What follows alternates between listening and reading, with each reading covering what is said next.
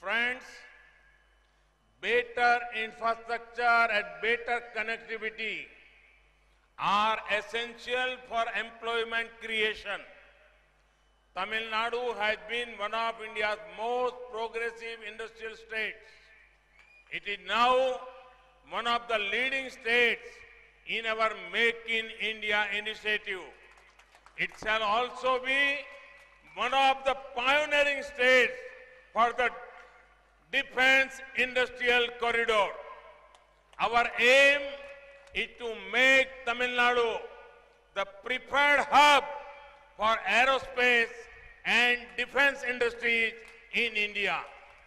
This could be in the area of engineering, design, manufacturing, and allied activities. The defense industrial corridor shall be a generator of employment opportunity as well.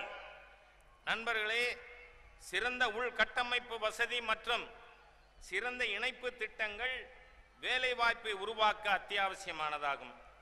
தமிழகம் நன்கு முன்னேறிய தொழில்மயமான மாநிலங்களுள் ஒன்று. Make India திட்டத்தின் மூலமாக மத்திய அரசின் முயற்சியில் தமிழகத்திற்கு முன்னுரிமை தரப்பட்டு உள்ள மாநிலமாக நாம் வைத்திருக்கிறோம். பாதுகாப்பு பொருட்களை உற்பத்தி செய்கின்ற மாநிலங்களில் தமிழகம் அனைவராலும் வந்து இங்கு தொழிற்சாலைகளை அமைக்கின்ற ஒரு மையமாக அமைய வேண்டும் என்பதுதான் நம்முடைய முயற்சி. அதே போல நம்முடைய குறிக்கோள் விண்வெளி ஆராய்ச்சி மையம் பாதுகாப்பு தொழில்களின் மையமாக தமிழகம் விளங்க வேண்டும் என்பது. பொறியியல் டிசைன் மற்றும் உற்பத்தி தொழிற்சாலைகளை தமிழகத்திலே ஏற்படுத்துவதற்கான முயற்சிகள் மேற்கொண்டு வருகிறோம்.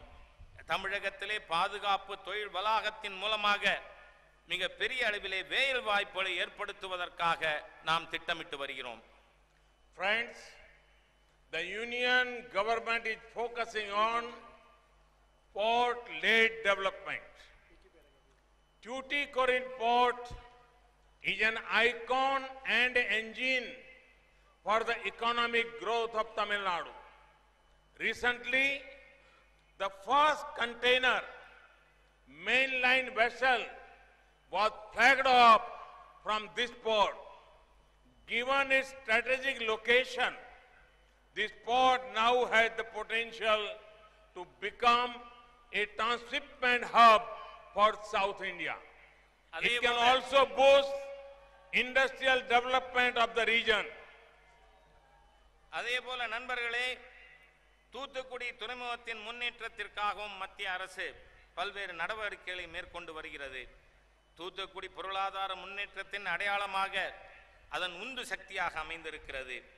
சமீபத்தில் பிரதான பாதையிலே முதல் கப்பலானது தூத்துக்குடியிலே இயக்கப்பட்டு இருக்கிறது தூத்துக்குடியினுடைய அதனுடைய இருப்பிடத்தின் முக்கியத்துவம் காரணமாக கப்பல் போக்குவரத்திலே தென்னிந்தியாவிலேயே ஒரு முக்கியமானது ஒரு துறைமுகமாக தூத்துக்குடி முன்னேற்றப்படும் இதன் மூலமாக இப்பகுதியிலே தொழில் முன்னேற்றத்திற்கு நாம் முயற்சிகள் மேற்கொண்டு இருக்கிறோம் The credit for developing the first high-speed train, T18, also goes to Tamil Nadu.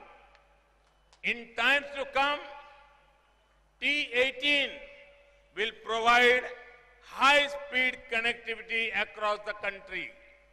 It has also excited interest among several other countries. When production begins on a large scale, it shall provide a large number of employment opportunities for the youth of Tamil Nadu.